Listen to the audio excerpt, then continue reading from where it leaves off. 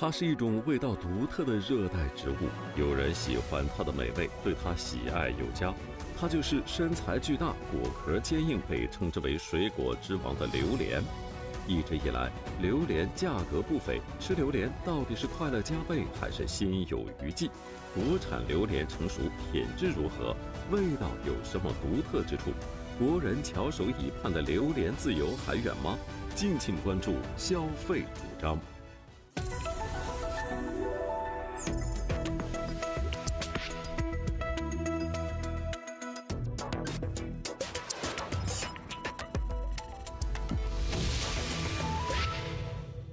泰国榴莲、越南榴莲、菲律宾榴莲，进入六月，许多进口榴莲开始大量进入中国市场。但是今年，中国消费者最关心的还是我们的国产榴莲。近日，许多媒体纷纷报道，产自海南的第一批中国本土榴莲即将在二零二三年六月收获。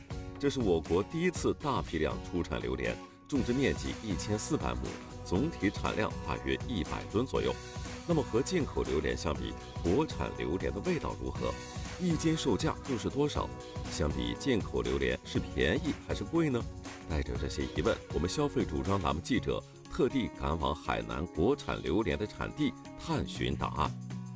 在这家国产榴莲的种植基地，记者看到漫山遍野的榴莲树已经挂满了果实，而且这些果实有大有小。基地的技术负责人告诉记者。大的果实六月底就能成熟，而小的果实成熟期要等到今年的八月。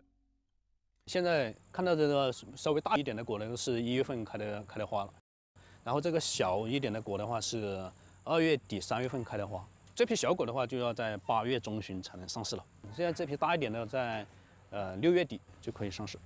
幸运的是，在采访期间，我们正好碰上了今年第一颗成熟的国产榴莲。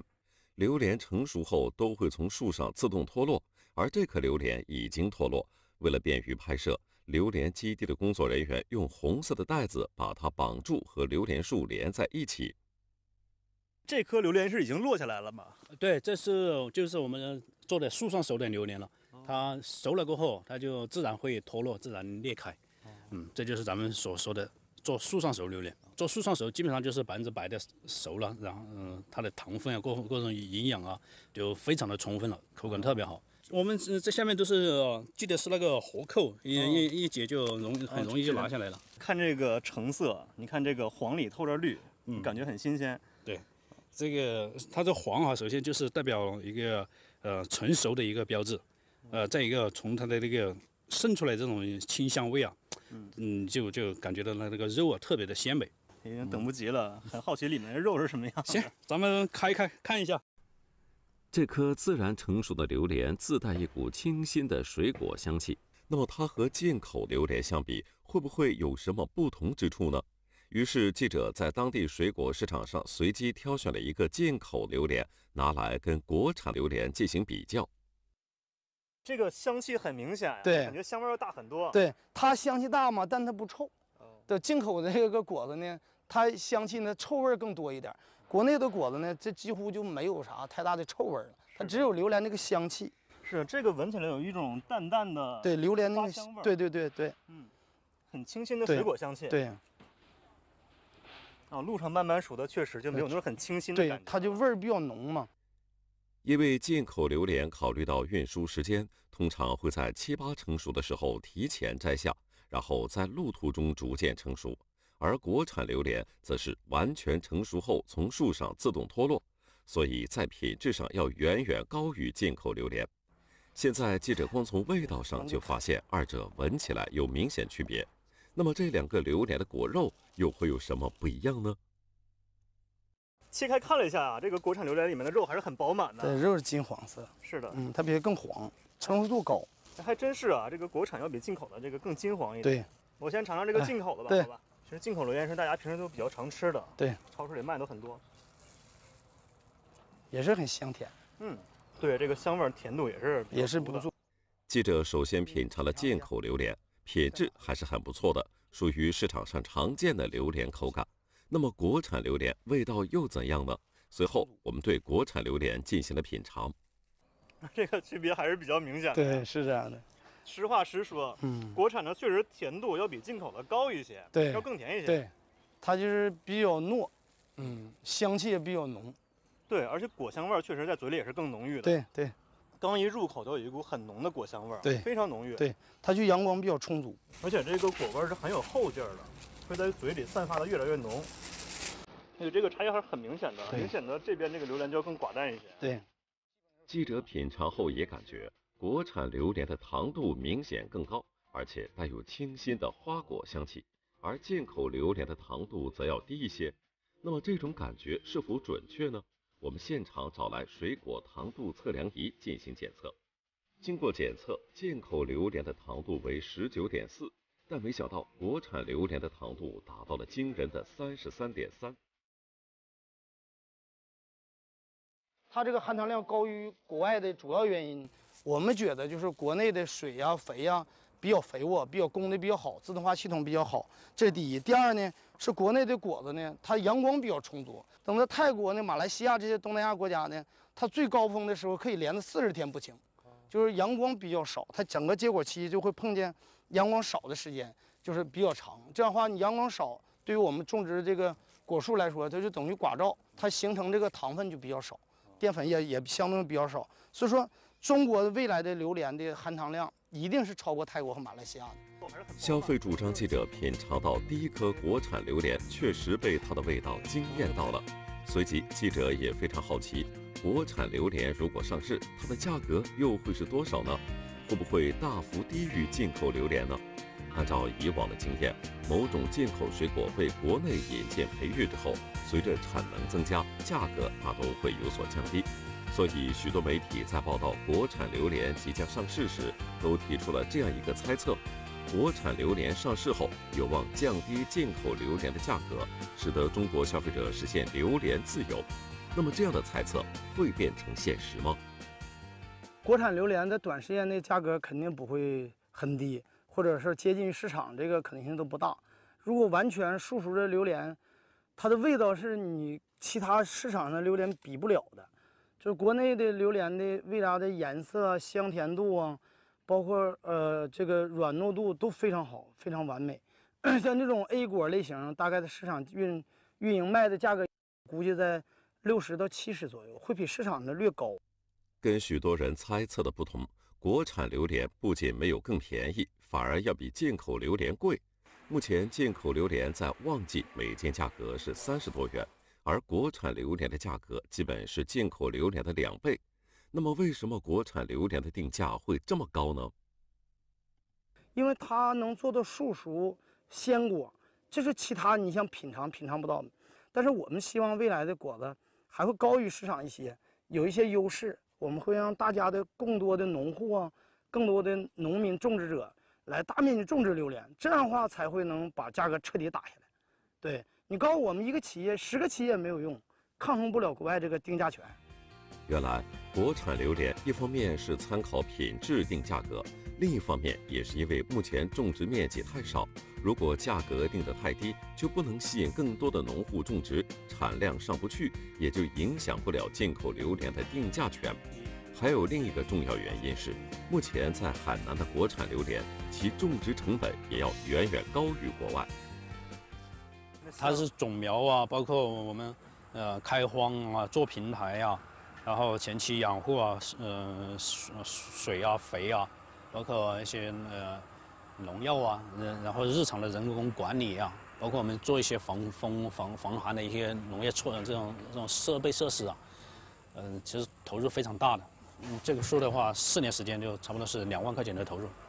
据了解，在东南亚地区，榴莲成熟后的下树价格每斤也就合人民币几元钱，而今年海南榴莲下树价格却达到每斤几十元。为什么我们的种植成本会远远高于国外呢？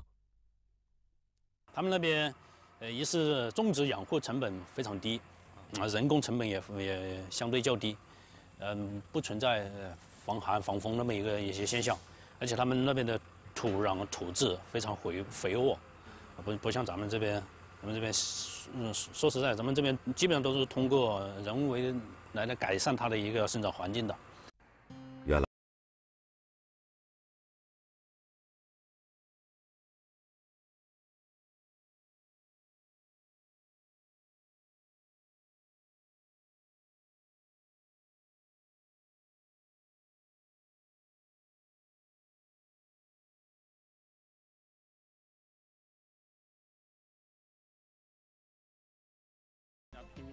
最早就是说我们从建所以后，就是主要以热带水果资源收集，在五八年的时候把这棵榴莲引进过来了。当时据老专家介绍是引进了三株，但是最终活下来的只有这一株。三棵榴莲树最后只成活了一棵，而且剩下的这棵榴莲树还很少开花结果，这充分证明海南的环境并不适合榴莲种植。去年这这个枝条上挂了十六个，我们就在这个枝条上正好做了相对较多的一些人工授粉。整棵树的话，那个是挂了四十多个。像这种正常的话，这棵树应该管理好的话，上百棵是没有问题。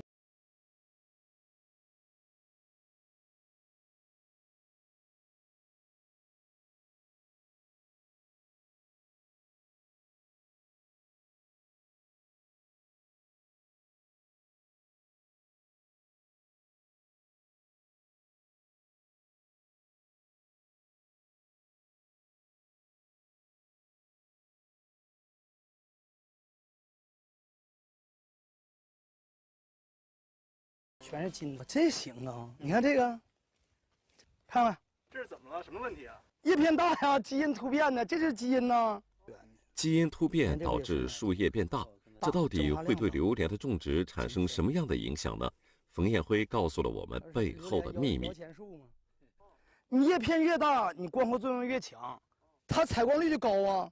你正常这个叶片七百个叶片能能养一个果，它三百个叶片就养了。以前七百片叶子才能养一颗榴莲，现在三百片叶子就可以养一颗榴莲，这就使得每棵榴莲树的产果量提升了一倍以上。冯彦辉正是通过育苗优化这种方式，对幼苗进行驯化改良，让原本不适合中国环境的榴莲增强自身的适应性。这个幼苗是是原始的幼苗，我们叫砧木，将来它是啥呢？把它切折了，把它切断了以后。切断以后头就不要了，然后就取一棵，呃，树长得很茁茁壮，果子很甜，这树结果率很高，抗病又很好的品种，把这一棵树的枝条架到这顶，就是这个根，这个种子是原生，就原始热带雨林那种榴莲的种子，它很饱满，它抗病很强，就是我们现在驯化出的品种嘛，它是更好的为人类服务了，但是结的果子很鲜美，结果量也很高。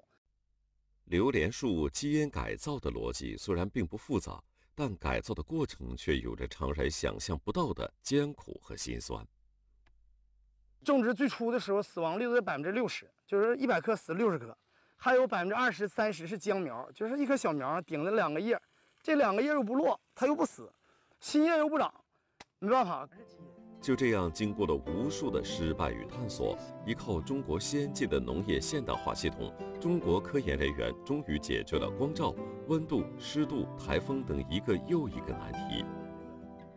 咱们这个榴莲树需要施肥补充营养的，它有很多很有好几个方式。第一个就是直接是撒，这样撒的话，它的利用率就嗯不是很高。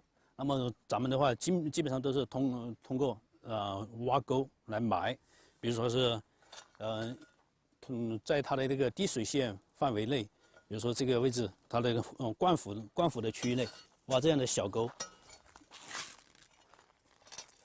然后撒上这样的嗯，这个呃肥的利用率非常高，这样施一次肥的话，可以就基本上可以管到一个月。除了土壤与湿度，榴莲还对温度特别敏感。它要求平均气温必须在二十二摄氏度以上，一旦温度不够，就会停止生长。如果温度低于十摄氏度，或是遇到一场寒流，榴莲树就会直接被冻死。但海南的纬度比马来西亚、泰国、越南这些国家的榴莲产地要更偏北，经常会遇到南下的寒潮，而且海南四面环海，台风更是常常光临。这些难题又是怎么解决的呢？我们要考虑到海南天气，它冬天有一个寒流，呃，夏天呢有台风这么的一个极端天气。那如何避避开这两个极端的气候呢？那咱们就选择性的让它集中在某个时期开花。那么在二月份开花到七月份之前，就可以把果收完，那就可以避开台风季。中国人从来不缺少智慧。记得看到。种植基地里这些榴莲树的四周都布满了铁架。技术人员介绍，当果树挂满榴莲时，就可以利用铁架吊起枝条分担重力，还可以随时为突发而来的台风做准备。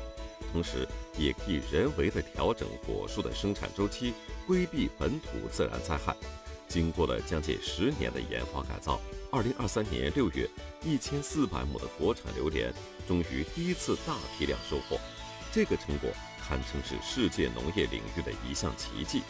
一个历史上不能种植榴莲的国家，在今年居然有大量榴莲上市，这也引起了榴莲主产国的好奇。记者在海南采访时，刚好看到马来西亚榴莲种植人员特地赶来参观考察。中国独特的种植模式，让榴莲主产国从业者们大开眼界。科研的条件，你们肯定非常的进步。这个所谓人的方面的精神，就这样拼搏的精神去研究的，也非常有了人和，就是剩下的个就天使。但是你们这个初步的来看，每个人的感觉都说已经是成功了。在国外榴莲专家看来，中国榴莲已经克服了温湿度、土壤环境、品种选育等一系列难题，但未来在抗击重大自然灾害面前，还是需要提前做足准备。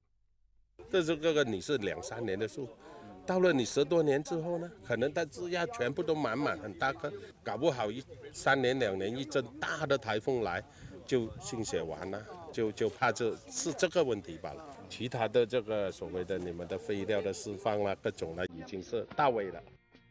榴莲的营养价值很高，含有丰富的蛋白质、纤维素、微量元素、氨基酸，种类齐全，被称为水果之王。中国消费者对榴莲的热爱异乎寻常。从2020年开始，榴莲就成为中国进口额最大的水果。2017年，我国榴莲年进口量为22.4万吨，2022年则达到了82.5万吨，几乎是2017年的四倍。2022年，泰国90%的榴莲都出口到中国，而今年前五个月，越南榴莲鲜果97%也都出口到中国。虽然国外榴莲进入到中国市场的数量越来越多，但价格却没有同步下降，这到底是为什么呢？因为中国市场太大了嘛，这个从这个市场满足上来看，我觉得远远的不能满足这个这个水果市场的，这个供给上还是远远的小于这个需求的，就是还是供供 供不应求，所以它导致这个价格下不来嘛。榴莲它的热度实际上是这四五年就一直就就增长就很快。产地端的这个货产量没有那么大的呃增幅，以前没有这么多进口的时候，他们本地还要消化一些。那现在基本很多都用来都满足中国市场了。这里是云南省昆明市的一家榴莲进口公司总部，祖娟娜正在忙着发货。我们基本上在六月十五号这个就可以接近到我们的高峰，可能就是日发货量七八千单这个样子。祖娟娜说，在二零二二年七月前。国内新鲜榴莲主要从泰国进口，冷冻榴莲则大部分来自马来西亚。之后，越南鲜果榴莲和菲律宾鲜食榴莲也陆续被批准进入中国市场。目前市场上能够看到、买到的这些品种都来自不同的产区。那么，不同产区的榴莲品质和口感以及价格又有什么样的不同呢？然后菲律宾榴莲的话，目前的话它只有空运货，它只有空运货能进入到呃我们中国，所以就吃到的偏熟一点。越南金枕它的口感就要比泰国金枕的口感相稍微欠缺一点。然后还有我们熟知的马来西亚猫山王，猫山王的话目前来说，就是马来西亚是没有办法出口鲜果到我们中国的，都是它呈现到消费是消费者手里面都是液氮整果，所以相对而言它的价格就会更高一些。祖娟娜认为，榴莲价格上涨还是因为需求量越来越大，供不应求。为了抢购榴莲，一些中国商人也赶往泰国，直接商谈榴莲进口贸易业务。我们连线了正在泰国抢购榴莲的中国商人钱鹏。我现在在泰国的榴莲产区尖竹文，今年五月的时候出现了一个断档，因为这边。气候原因造成今年比较干旱，就是正是因为这个断档造成的原因了。那么今年的南部的产量也是减少了大概百分之二十。钱鹏介绍，随着中老铁路的开通，榴莲运输的时间缩短，采摘的成熟度也随之改变。目前正值泰国榴莲采摘和销售季，不少榴莲商人选择通过中老铁路向中国运输榴莲。自从前不久中老铁路通车，榴莲运输到中国的时间不仅大大缩短，运输途中的损耗也显著降低。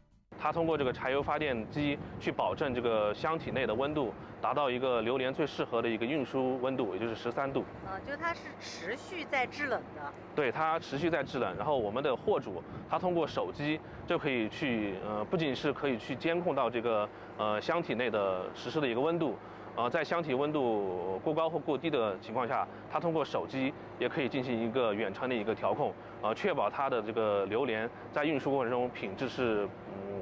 最完好的榴莲虽然好吃，但挑选榴莲却需要技巧。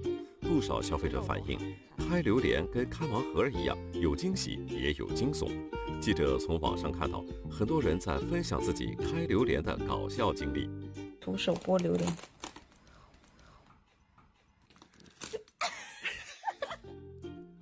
现在一斤榴莲一般都要三十多元，买一个七八斤的榴莲就需要几百元。花这么多钱，当然应该好好学习一下如何才能挑到实打实的有肉榴莲。在北京，记者专门请教了一位售卖榴莲的专业人士，建议大家呢挑这种圆乎的、圆乎的、胖嘟嘟的这个。您看一下，这个肉是非常非常好的，啊，非常非常饱满的。这里头鼓出来这个全是肉，这个皮就稍微要薄一点。然后再咱们再对比一下这个。长得稍微长形一点的，您看一下，从这个口可以看得进去，这皮肉就在这，皮这么多出来这么多，这个皮呢稍微就会厚一点，出肉呢可能就是稍微少一点。圆榴莲真的要比长榴莲皮更薄、肉更多吗？我们一起来看一下实际测试的情况。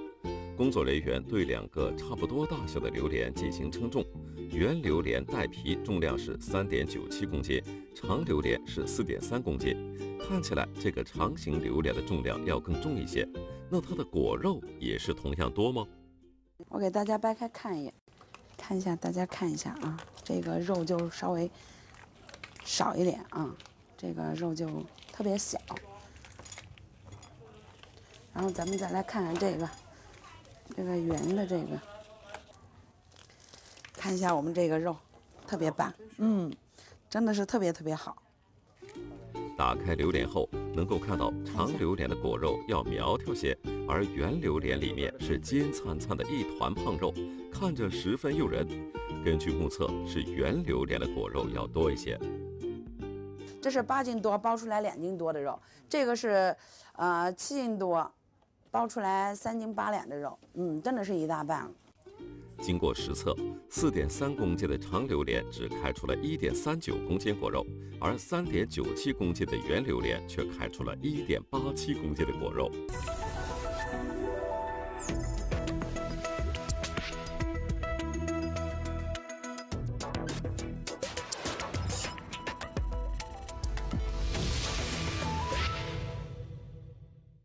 初夏第一口鲜桃滋味儿，哪一款令你无法忘怀？各地桃子陆续成熟，新老品种争相上市，哪个品种最受欢迎？冰沙、果冻、泡菜、水蜜桃还能吃出什么新花样？敬请关注消费主张。